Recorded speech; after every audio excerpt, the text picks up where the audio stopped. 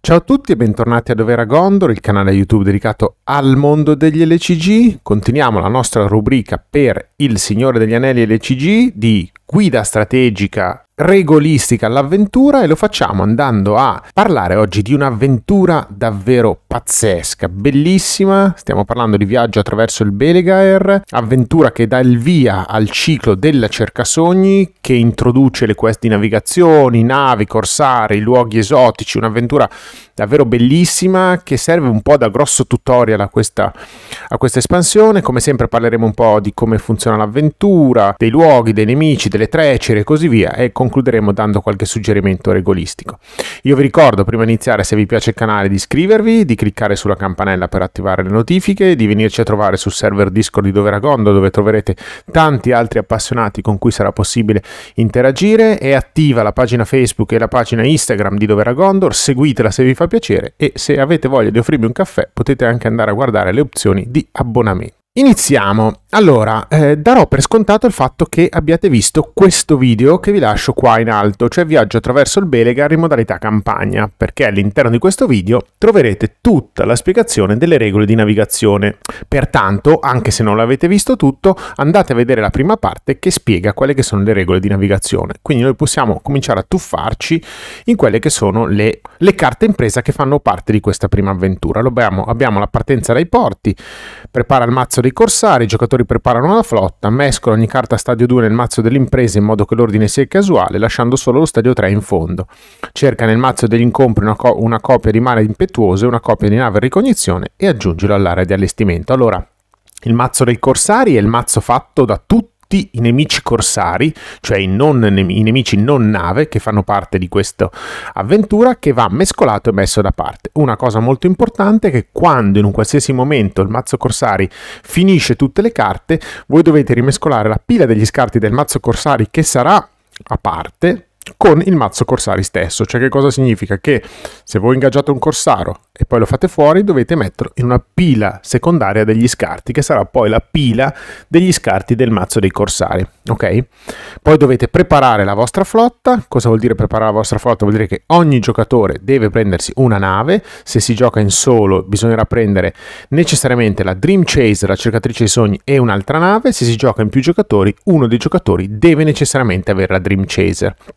per cui da lì non si scappa. Quindi mettiamoci la Drincese in gioco che poi ci servirà anche per fare alcune considerazioni regolistiche. Poi dobbiamo prendere queste quattro, side, queste quattro carte impresa, mescolarle, metterle sotto l'1 in modo casuale e poi mettere sotto ovviamente la 3. Dobbiamo cercare nel mazzo incontri una copia di Mare Impetuoso e una copia che è questo Rolling Seas e una copia di Nave Ricognizione e aggiungere all'area di allestimento questa Scouting Ship 2572 arrembaggio 1, anche arrembaggio 1 è spiegato nel video che vi ho linkato prima, non può avere attachment e prende meno 15 al costo di ingaggio fin tanto che siete off course. Che cosa vuol dire off course? Che siete fuori rotta. Anche qui vi rimando al video per parlare dell'essere in rotta dell'essere fuori rotta. Però cominciamo a dire che l'essere in rotta sarà una cosa molto importante in questa avventura. Direi di fondamentale importanza. Andiamo a vedere che cosa ci dice l'1B. L'1B ci dice navigazione, mentre sei in rotta, quindi mentre sei, mentre il segnalino della rotta è sul sole, ogni obiettivo nave riceve più 2 alla forza di volontà, quindi anche la Dream Chaser. E poi abbiamo questa parte in retta che dice quando questo stadio è sconfitto, se sei in rotta, guarda due stadi dalla cima del mazzo delle imprese e progredisci con uno di essi a scelta, collocando l'altro in fondo al mazzo dell'impresa, altrimenti progredisci con lo stadio in cima al mazzo dell'impresa. Che cosa vuol dire, in sintesi? La storia ci racconta che noi ci, ci eh, um, avventuriamo attraverso il Belegaer con lo scopo di eh, insomma, dar seguito a questa visione di Calfon, che è questo nobile gondoriano mh, mm, per il quale la cercasogni intraprende questa avventura verso ovest.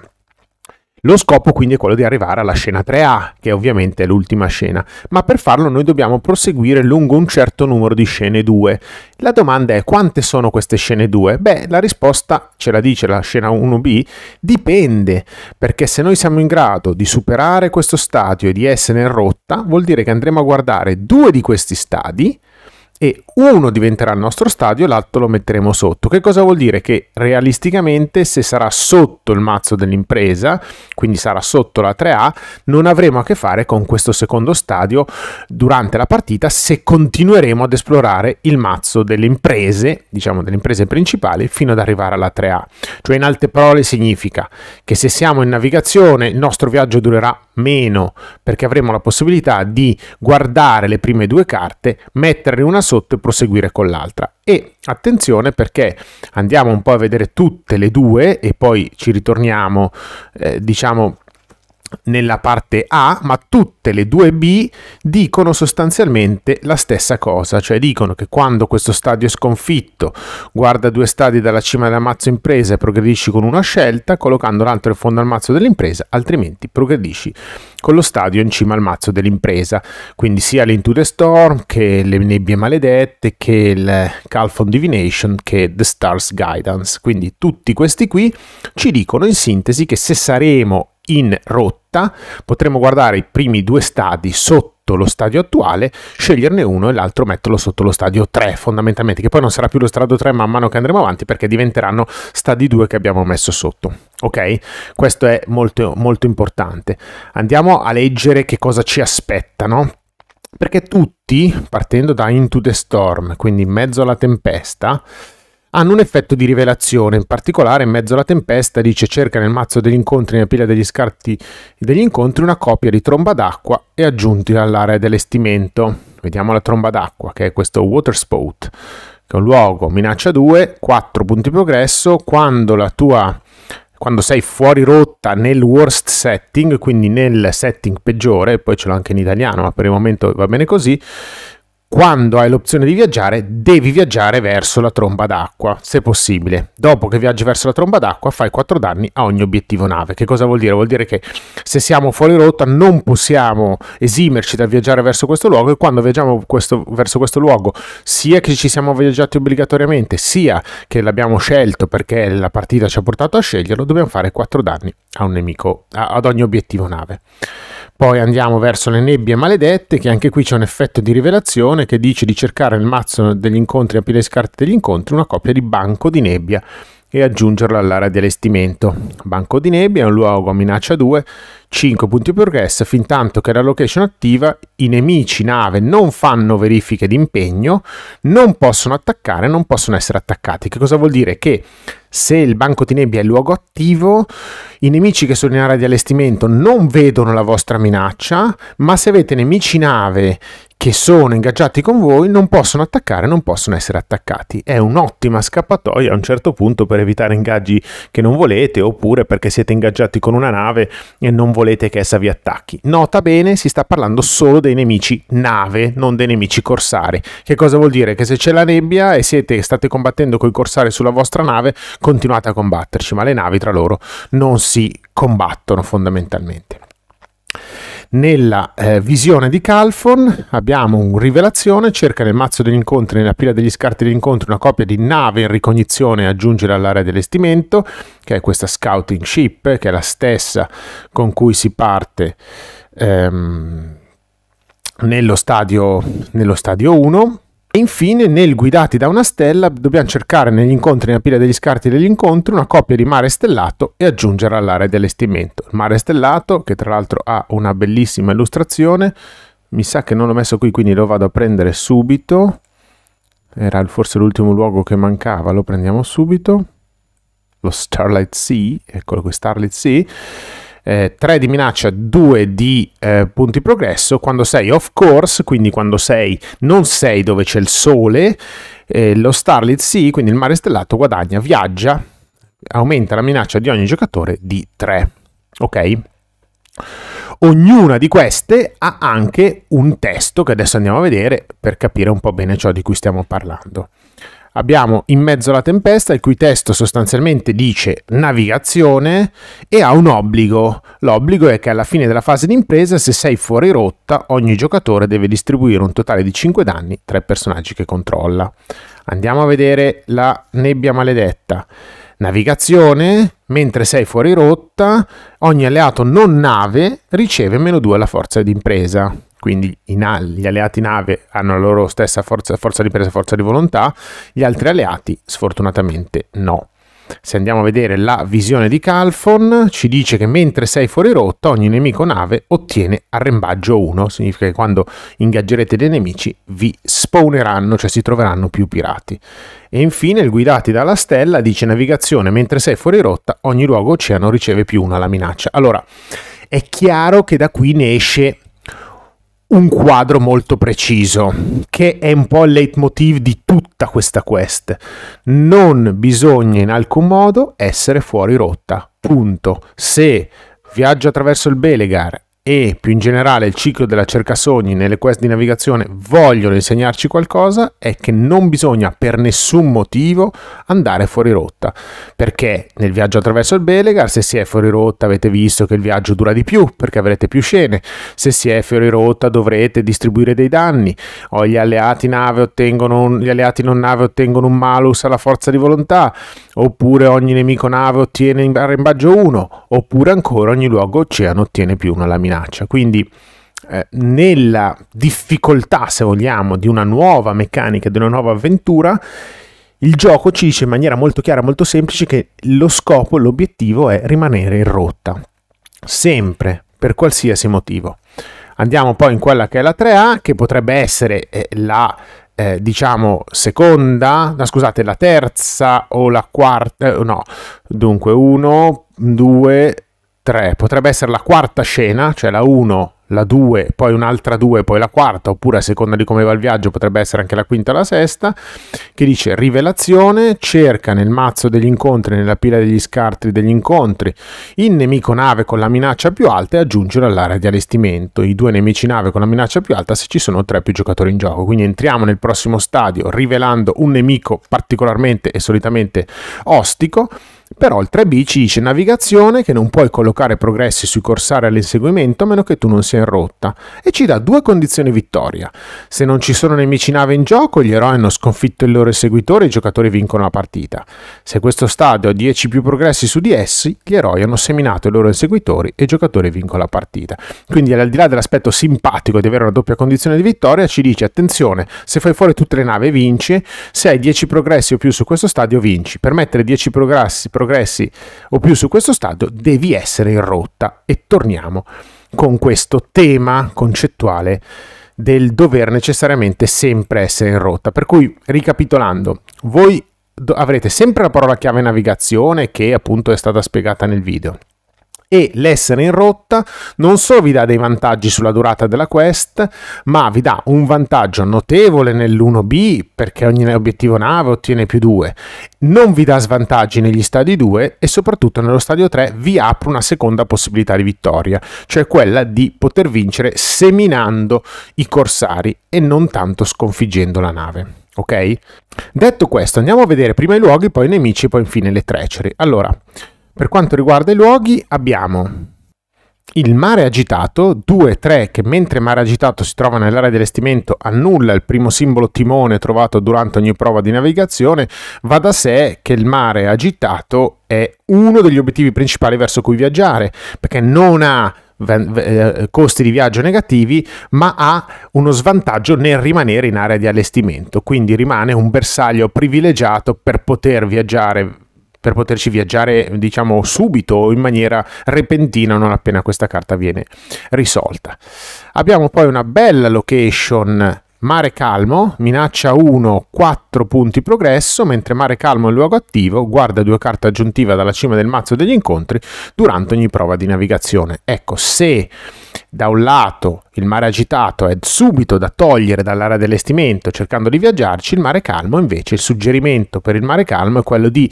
viaggiarci solo quando ipotizziamo che il prossimo turno sarà un turno nel quale vuoi perché siamo andati fuori rotta, vuoi perché abbiamo nemici ingaggiati, vuoi per vari motivi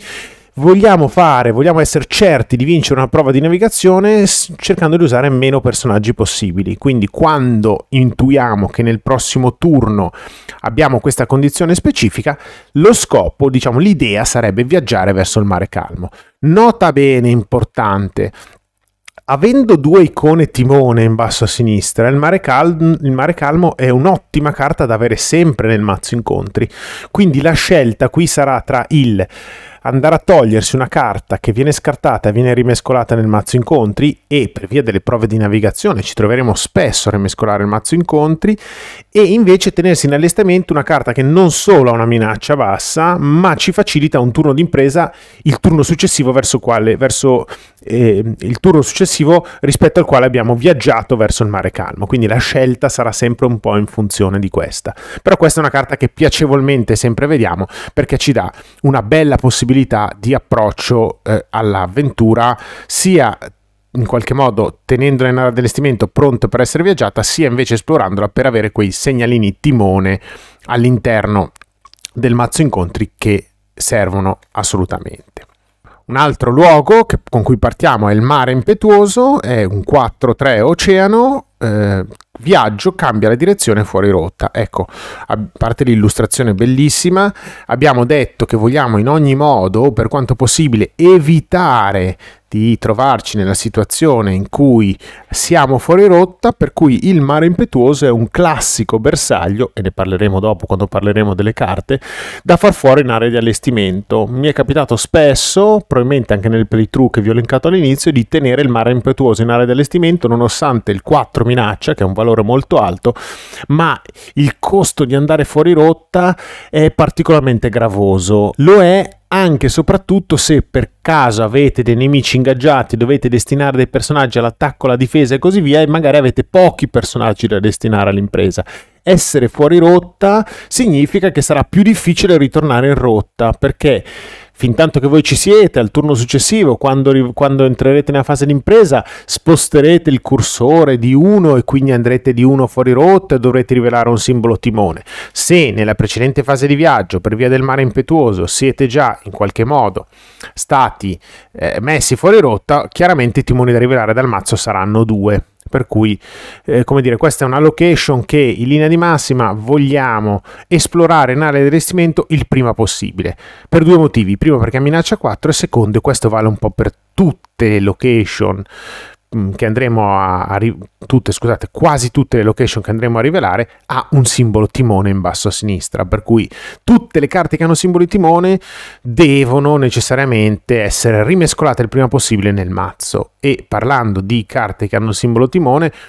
andiamo a vedere il Mare stellato, minaccia 3, 2, mentre sei fuori rotta, mare stellato, tieni viaggio, aumenta di 3 la minaccia di ogni giocatore.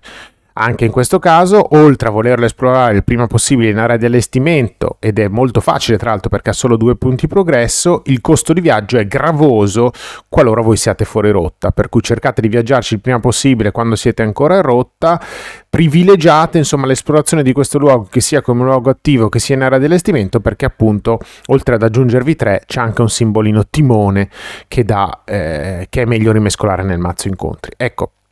Tenete presente che in questa avventura circa il 40-45% di carte ha un simbolino timone, per cui questo potrebbe indurvi a dire, beh, destino normalmente due personaggi all'impresa. Diciamo che minimo sarà 3, spesso e volentieri sarà 4, perché non solo la sfortuna ci vede benissimo, ma voi volete essere assolutamente certi di rimanere in rotta. Quindi tutti gli sforzi che possono rimettere segnalini timone nel mazzo incontri vanno assolutamente perseguiti e fatti.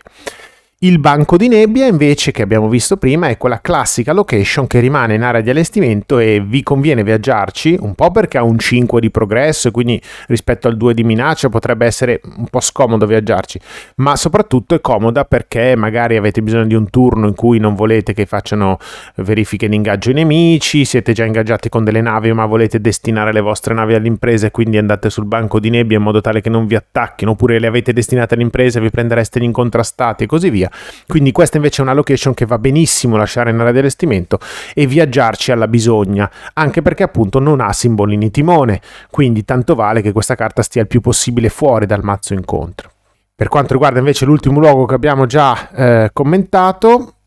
la tromba d'acqua, eh, ehm, anche in questo luogo 2-4, eh, chiaramente questo luogo vi dice non trovatevi mai nella condizione di essere fuori rotta, perché se no vi beccate 4 danni in faccia a ogni obiettivo nave. 4 danni che per un eroe sono un valore esagerato, non sono un valore altissimo per le navi, ma insomma non è che proprio vogliamo regalare dei, dei danni e delle ferite delle navi al, al mazzo incontri. Quindi in generale questo è un altro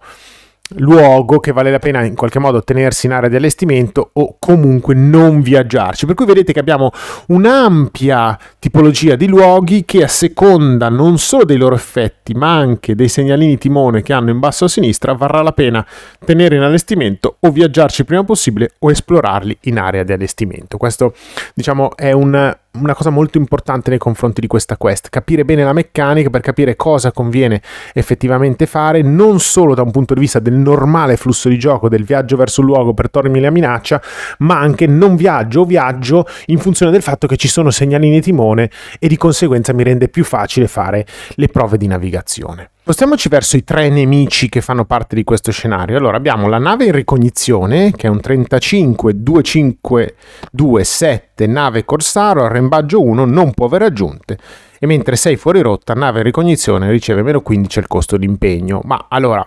questo è l'emblema di questa avventura e più in generale di questo ciclo, cioè abbiamo nemici mm, diciamo mediamente forti, perché come vedete un 5, 7 sono nemici che sono generalmente forti, che però chiaramente devono essere gestiti dalle navi, per cui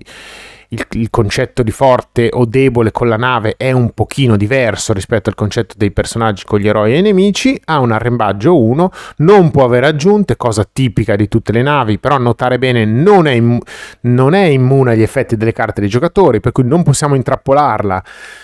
perché non può aver aggiunte, ma possiamo per esempio fintarla o giocare altre carte che poi vedremo che possono aiutare nei confronti della nave. E chiaramente prende meno 15 il costo di ingaggio fin tanto che si è off course, quindi fin tanto che si è eh, fu- fuori rotta. Qual è diciamo la discriminante? 35 è un valore che cercheremo sempre di tenere a mente, anche perché potrebbe anche essere che questa nave stia lì tutta la partita. Fin tanto che noi siamo bravi a rimanere in rotta, quel 2 di minaccia sta in area di allestimento, ci ritroviamo spesso e volentieri, grazie magari alla gestione della minaccia, sotto la minaccia 35, quindi lo scouting chic potrebbe tranquillamente, la nave in cognizione, potrebbe tranquillamente rimanere lì tutta la partita, a patto che siamo in grado di rimanere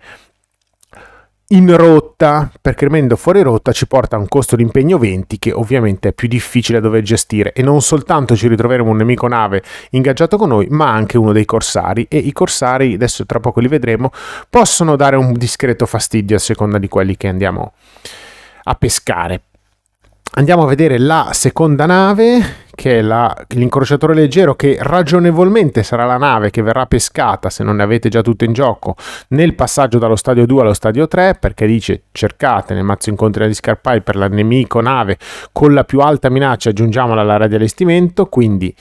il nemico con la più alta minaccia è questo incrociatore leggero da minaccia 4 vedete che le statistiche sono di tutto rispetto rispetto alla nave di ricognizione quindi 4 6 5 7 ha un arrembaggio 2 il che è ovviamente molto più pericoloso, non può aver aggiunte ogni nemico razziatore rivelato dal mazzo degli, dei corsari. A causa della parola chiave arrembaggio di incrociatore leggero entra in gioco con una risorsa su di essa. Questo è un bel problema questa nave perché il 37 potrebbe non essere un valore molto distante soprattutto in late game, il 4 di minaccia in area di allestimento è abbastanza importante e l'arrembaggio 2 potenziato potrebbe dare particolarmente fastidio per cui sappiate che questa nave nel passaggio dalla 2 alla 3 insomma, se siamo lontani dal 37, ricordate questo valore, se siamo lontani dal 37 non sarà generalmente un problema. Se siamo vicini al 37 sarà un problema che avremo a che fare nello stadio 3. Parlando di problemi, andiamo verso la nave da guerra Corsara, che è questo nemico bifi, questo nemico eh, eh, gigante da 44 3849, quindi statistiche mostruose, arrembaggio 3 arrembaggio 3, fermiamoci un secondo a questo concetto di arrembaggio 3, quindi ci butterà fuori tre nemici quando la ingaggiamo, mentre Nava Corsara si trova nell'area dell'estimento, non può essere danneggiata e ottiene arciere 4. Per quanto riguarda i corsari, abbiamo il ehm, predone astuto 36 1 2 2 4 che riceve più 1 ad ogni statistica, eh, all'attacco alla difesa per ogni risorsa su di essa, quando ti impegna scarta un'aggiunta che controlli e colloca su pirata astuto un ammontare di risorse pari al costo stampato di quell'aggiunta. Il classico coraggio inaspettato che vi beccate quando il pirata vi ingaggia, beh, può dare fastidio perché non solo perdete un'aggiunta, ma magari eh, lo potenziate anche notevolmente, no? Capite? Coraggio inaspettato costa 2, avere un nemico che ha 2-2-2-4 è un discorso, avere un nemico che ha 4-4-4 è un altro discorso. Poi abbiamo il predone feroce 2-3-3-3 Vedete che hanno tutti, beh questa minaccia 12, obbligo, quando Predone Feroce ti impegna, scarta una carta casuale della tua mano e colloca su Predone Feroce un ammontare di risorse pari al costo stampato di quella carta. Quando Predone Feroce ti attacca, distribuisci tra i personaggi che controlli un totale di danni pari al numero di risorse su Predone Feroce. Ora è chiaro che se da un lato il Predone Astuto potreste tenervelo lì e far fatica anche ad attaccarlo, ma diciamo vi dà un fastidio relativo nel momento in cui è ingaggiato, il Predone Feroce se magari vi ha fatto scartare una carta da 2 o da 3, ogni volta che attacca va a... Ehm, a farvi due o tre danni da dare tra i personaggi, per cui diventa un obiettivo principale il predone feroce da, da far fuori il prima possibile. La scelta che forse risulta quella un pochino meno sfortunata è il marinaio su drone, che è un corsaro 0211, eh, 0214, che dice che mentre il marinaio su drone è impegnato con te, ogni nemico nave impegnato con te contribuisce con la sua minaccia alla minaccia totale in area di allestimento. Fastidioso, fortunatamente l'attacco 2 e soprattutto i 5 punti ferita lo mettono tra quelli un pochino più facili da gestire, sia perché potresti prenderti un incontrastato a patto di essere rotta, e poi vediamo perché, sia perché 5 può essere gestibile dall'attacco di un eroe da 3 e un alleato da 2, sia perché il suo è uno svantaggio indubbiamente perché magari vi siete proprio tolti la nave per togliere la minaccia della nave in area di allestimento, però in linea generale tra tutti i corsari è quello che forse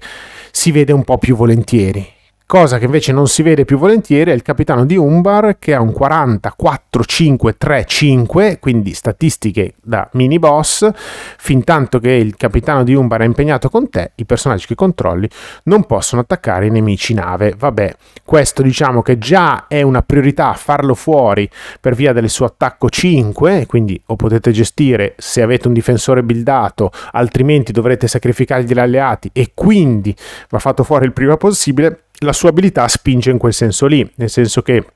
se vi tenete una nave perché volete far fuori la nave con cui siete ingaggiato per aumentare la eh, più forte possibilità di eh, attaccare la nave perché magari appunto vi tenete la nave stappata vi tenete un, alle- un alleato un, un eroe che, attacca, che vuole attaccare la nave per farla fuori beh lui vi dice no questa cosa non si può fare pertanto la priorità è assolutamente quella di far fuori questo nemico il prima possibile. Spostandoci alle treceri, andiamo a vedere la spinti fuori rotta, rivelazione, cambia la direzione fuori rotta oppure rimuovi tutti i progressi dall'impresa attuale e aumenta di 4 la minaccia di ogni giocatore. Allora è importante, se siete già al massimo del fuori rotta non potete andare ulteriormente fuori rotta, cioè se siete diciamo in questo simbolino qui a sinistra quindi col fulmine non potete sceglierlo, ma fortunatamente se avete zero progressi potete comunque rimuovere zero progressi e aumentare la, di 4 la minaccia di ogni giocatore anziché scegliere di andare fuori rotta, il che normalmente è un po' la scelta migliore perché è meglio avere un 4 di minaccia in più che potete chiaramente gestire piuttosto che andare fuori rotta. Questo in linea generale insomma deve essere quello che è chiaro da questa avventura e spero di averlo chiarito mh, più volte. Abbiamo anche il vento incollerito, rivelazione, se sei fuori rotta infliggi un danno a ogni personaggio in gioco, se la direzione attuale è nella condizione peggiore questo effetto non può essere annullato. Anche su questo non diciamo nient'altro che è una delle pochissime treceri che se siete fuori rotta in tutto il gioco non fa niente. Quindi anche solo per avere una doppia o tripla copia di questa carta nel mazzo, che è una carta benevola di fatto perché la rivelate e non fa niente, vale la pena essere in rotta. Anche solo per questo motivo, poi in realtà vale per mille altri motivi, però generalmente sappiate che solo questo ci serve per dire vale sempre essere la pena, vale la pena essere sempre in rotta perché se mi becco un turno in cui rivelo una di queste che non fa nulla, beh allora siamo davvero messi, messi bene. Quindi in linea generale sappiate che vale sempre, non mi stancherò di dirlo, la pena essere in rotta. La tempesta improvvisa è una eh, sventura meteo, rivelazione, cambia la direzione fuori rotta oppure infligge un danno a ogni personaggio esaurito. È chiaro che qua dipenderà molto dal, vo- dal, vostro board state, perché se potrete in qualche modo cambiare la direzione fuori rotta, perché magari siete alla fine piuttosto che per vari motivi, cambierete la direzione fuori rotta. Se potrete riuscire a dare dei danni agli alleati senza perdere troppi pezzi, darete danni agli alleati. In linea generale, siccome tra i consigli di deck building diremo che varrà la pena avere tanti piccoli alleati, e tanti piccoli alleati ovviamente significa alleati con poche punti ferita, probabilmente qui sarete costretti ad andare fuori rotta. Non lo so, dipende un po' dal board state, da quanti personaggi avete destinato, però considerando che destinate dei personaggi alla prova di, nav- di navigazione, destinate dei personaggi all'impresa, è facile che nel momento in cui rivelate questa carta vi ritrovate magari 5, 6, 7, 8 personaggi tappati, magari 4, 5 di questi hanno un punto ferita, beh allora chiaramente qui la scelta sarà quella di andare necessariamente fuori rotta. Andando sull'ultima carta abbiamo la squadra di abbordaggio, rivelazione, ogni giocatore rivela una carta dalla cima del mazzo dei corsari e la mette in gioco impegnata con lui. Questa è una carta che in true solo non è devastante se sapete, insomma se siete sempre pronti a poter prendere un nemico, in quattro giocatori potrebbe essere un po' fastidiosa perché è una, è una carta che vale quattro nemici, quindi è vero che non vi dà minacce in area di allestimento, eh, sia in solo che in, che in multiplayer, è vero che non che vi rimanda il problema alla fase di combattimento, quindi magari avete finte, avete eroi stappati e così via, però è anche vero che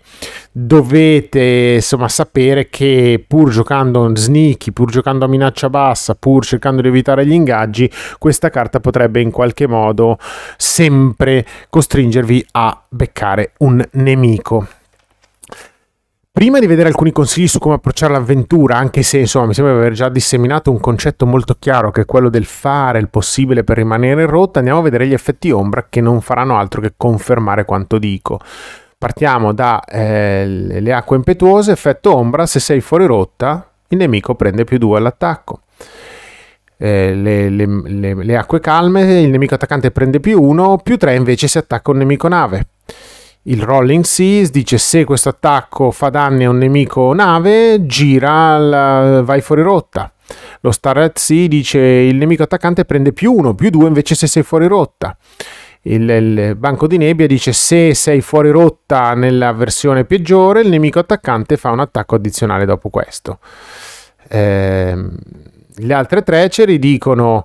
eh, il danno in eccesso da questo attacco deve essere dato a un, nemico, a un nemico nave, a un obiettivo nave che controlli. Il nemico attaccante prende più uno, più due invece se controlli un personaggio, un, personaggio, un obiettivo nave esaurito. O fai andare la tua. Mm, o vai fuori rotta, o questo attacco è in, in, incontrastato. Se questo attacco distrugge un personaggio, vai fuori rotta. Quindi il concetto è. Il concetto è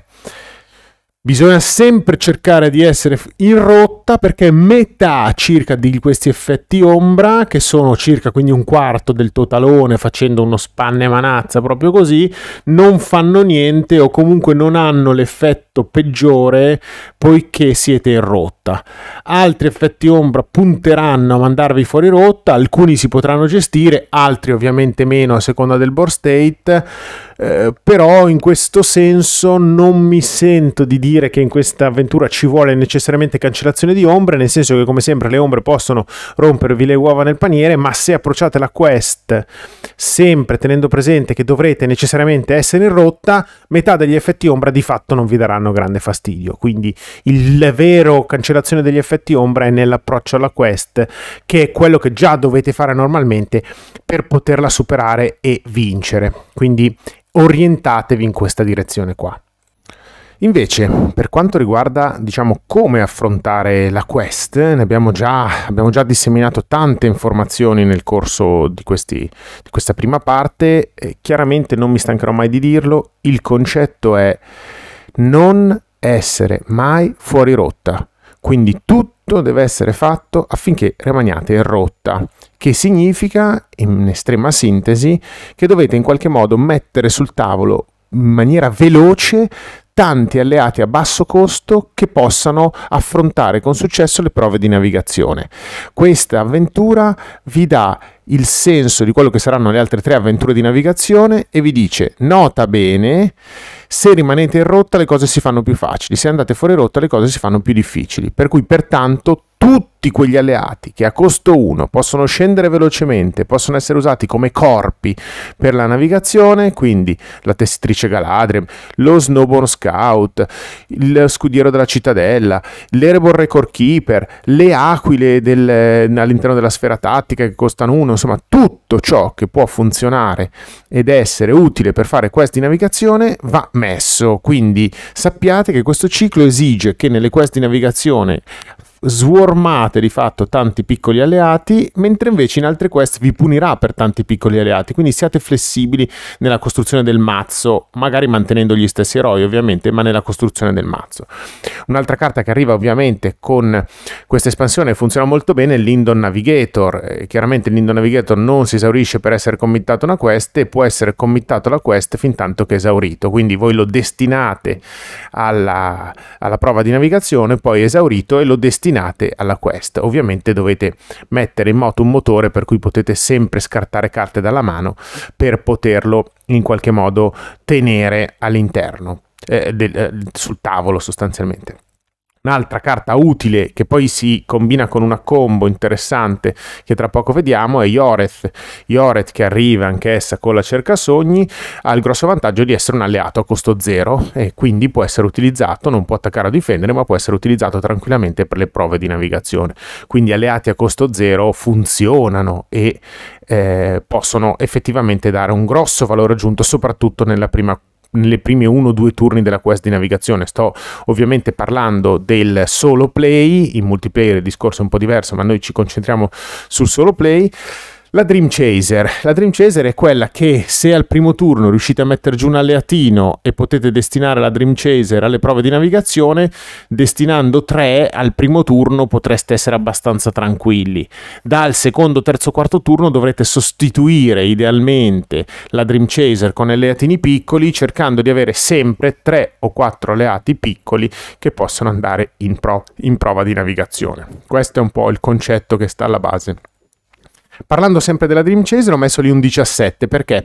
Perché eh, che voi vinciate la partita con 0 ferite o 17 ferite sulla Dream Chaser poco importa. Quindi il concetto è non siate timidi a prendere attacchi incontrastati sulle navi, cioè lì i punti ferita delle navi sono risorse di fatto, cioè è una risorsa non intesa come risorsa con cui pagare le carte, ma è un asset, una risorsa con cui voi potete affrontare meglio la quest. Quindi se vi ingaggiate una nave, non preoccupatevi del primo o del secondo attacco incontrastato, perché avete possibilità di bancare un bel po' di danni sulle navi. Ovviamente state attenti perché poi abbiamo visto effetti ombra, abbiamo visto altre cose, rischiamo che se poi si tipo il, la tromba d'acqua e così via, stiamo attenti perché altrimenti se la mandiamo a 17 e poi ci prendiamo 4 danni andiamo evidentemente a perdere. Però il concetto è, e cominciamo a mettere i primi tasselli,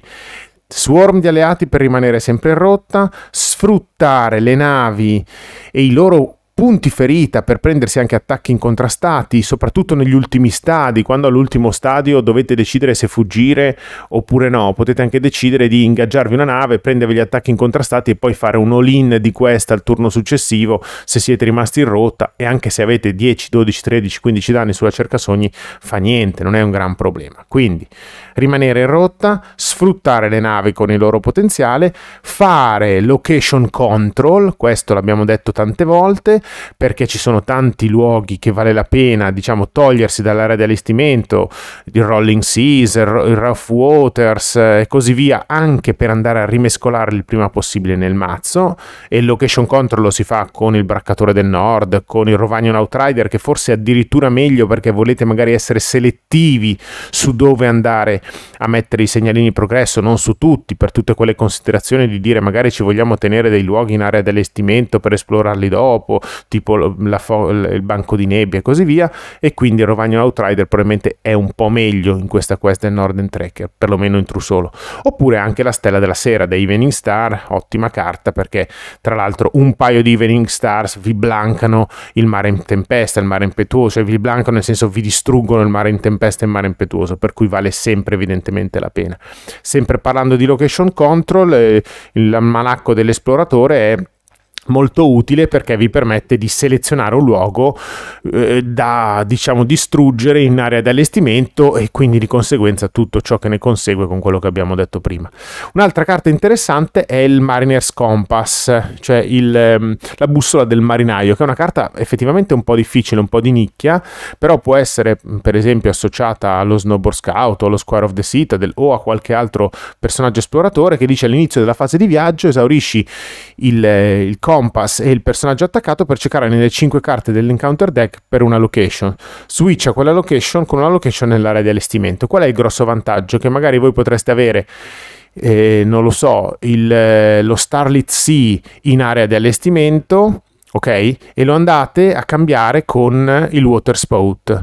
Qual è il grosso vantaggio? Che rimescolate nel mazzo un segnalino timone e questo vale anche per il Rolling Seas magari andate a prendere una location come il banco di nebbia che lo togliete dal mazzo diventa una location utile al, alla bisogna e rimettete nel mazzo un segnalino timone. Quindi tutto ciò è ehm, funzionale effettivamente. Quindi sappiate che in questa avventura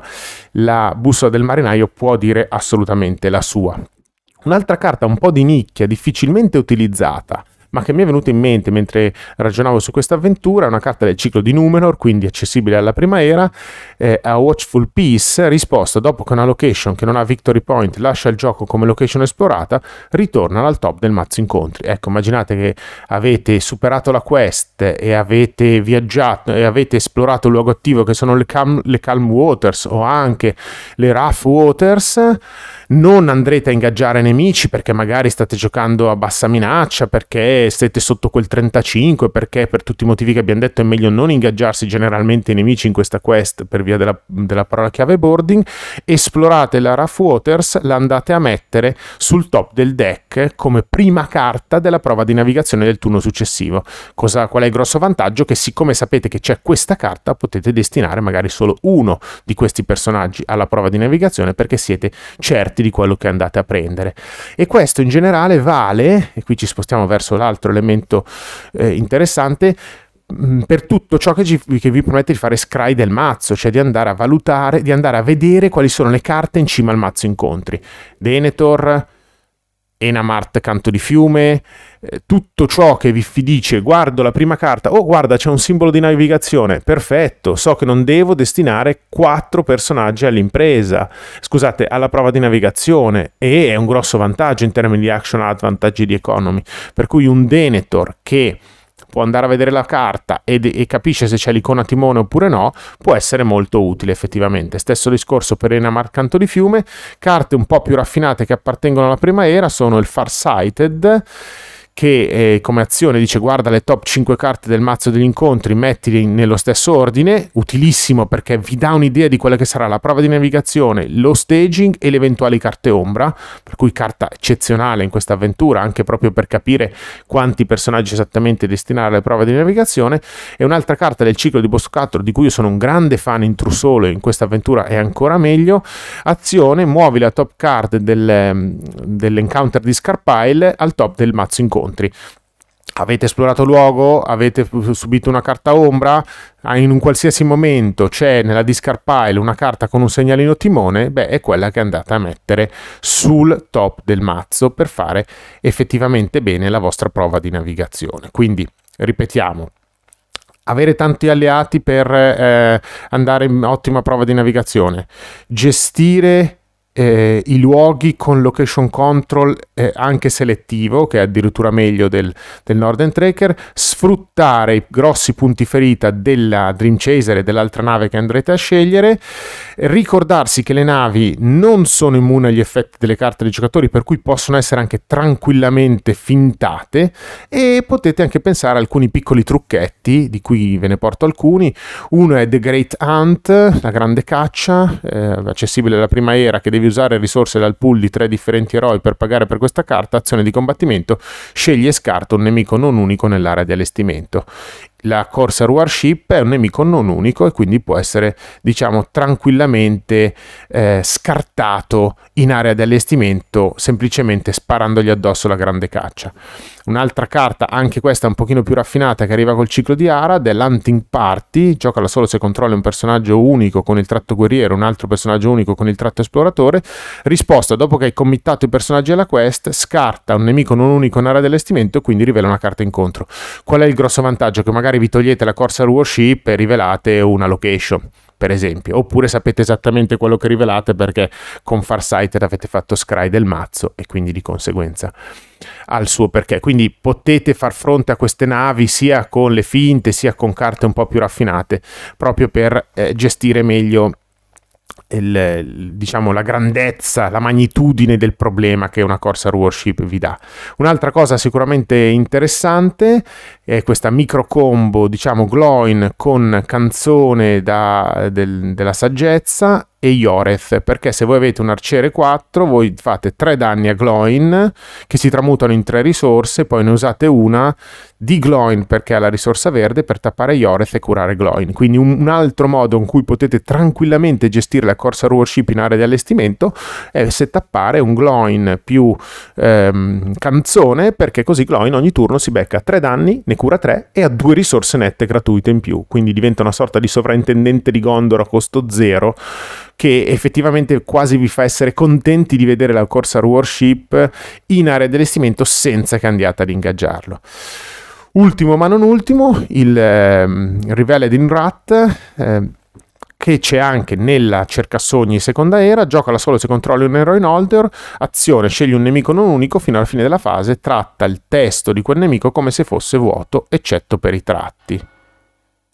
Una cosa interessante è che per esempio voi potreste, diciamo, in una finestra di azione della fase d'incontro dopo l'impegno facoltativo, prima delle verifiche d'impegno, supponiamo che abbiate minaccia 44 perché avete gestito la warship fino a, eh, a 44 e poi siete costretti a ingaggiarla, beh, quando la ingaggiate potete andare a blancare il suo testo, quindi in questa finestra di azione non facoltativamente importante, ma dopo le verifiche d'impegno, quindi dovete avere minaccia 44, blancate il testo e gli togliete il boarding. Di fatto non vi spawna, non vi butta fuori pirati, che chiaramente sono un elemento di, di difficoltà. Stesso discorso per la scouting warship, se riuscite a blancarle il testo, eh, le togliete magari quel meno 15 di costo d'ingaggio, per cui magari siete fuori course, siete fuori rotta, eh, questa a 20, non siete pronti a ingaggiarlo con il... Um, Reveled in Rat riuscite effettivamente a blancare il testo, carta che ho usato anche nel playthrough della cercasogni,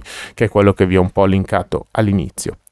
Ultima cosa prima di concludere, le side quest. Allora, questa è una quest dove bisogna fare un po' veloce in realtà, per cui non è che c'è tutto sto tempo della side quest, però una cosa regolistica importante è che nonostante voi decidiate di andare sul double back o su qualsiasi altra side quest, la parola chiave navigazione funziona. Cioè, per la definizione della parola chiave navigazione dice sostanzialmente che all'inizio della fase di impresa, se l'impresa principale ha la parola chiave di navigazione, allora fai queste cose. Quindi non importa il fatto che andiate su una side quest perché la parola chiave navigazione funziona indipendentemente. C'è proprio scritto nel manuale che all'inizio della fase di impresa fate questa cosa. Per cui sappiate che possono possono essere sicuramente utili, soprattutto in linea, in, in linea particolare, non l'ho messa qui, ma una carta che è sicuramente utile, che andiamo a prendere subito, è il ehm,